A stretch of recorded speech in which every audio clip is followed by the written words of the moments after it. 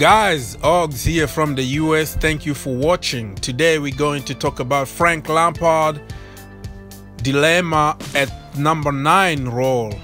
Who to choose? Olivier Giroud, Tammy Abraham, or Michy Batshuayi? It is very tough question, man. People are accusing Tommy for being very small, not tough enough. And other people are accusing Michy Batshuayi for not being Royal boy enough. He's been all over the world on loan, so we don't know really what he is about. And Olivier Giroud is not fast enough. He chooses his games. He's finished. So really, we don't know what to do. Frank Lampard doesn't have any, any choice because Morata is on loan and um, and Higuain is going back to Juve.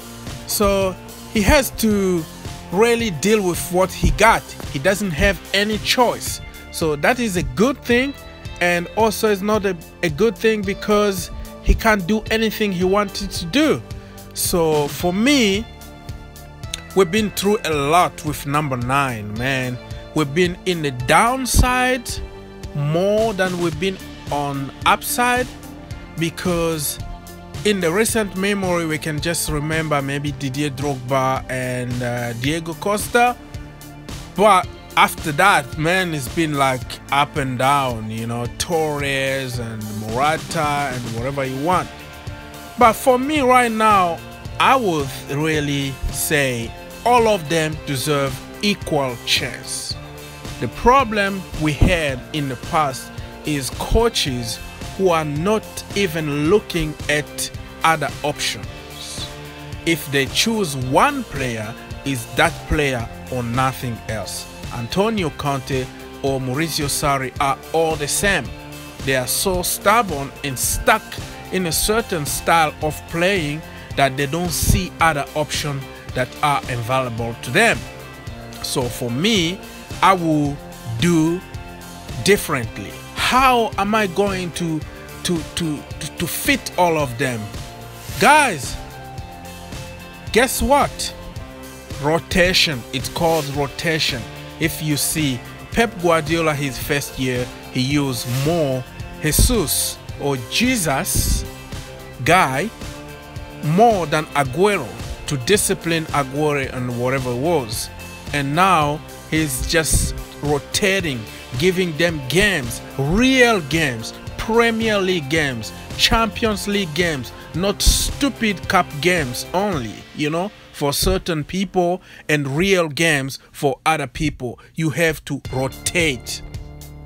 Rotate the team is the key to keep the team happy and healthy and keep the competition alive and get some good result you deserve.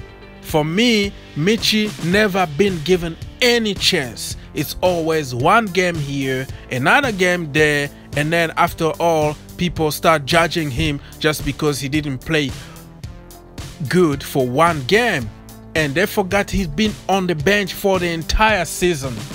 And you can't judge him in one game when you give 30 games to Morata to improve and Morata has all the excuses in the book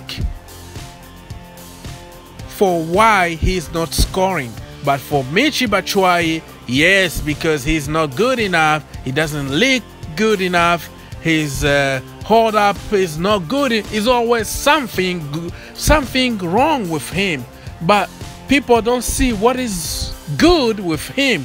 People forget that he is a fox in the box people forget that he won us the league. He's very good uh, poacher, and people just forget that.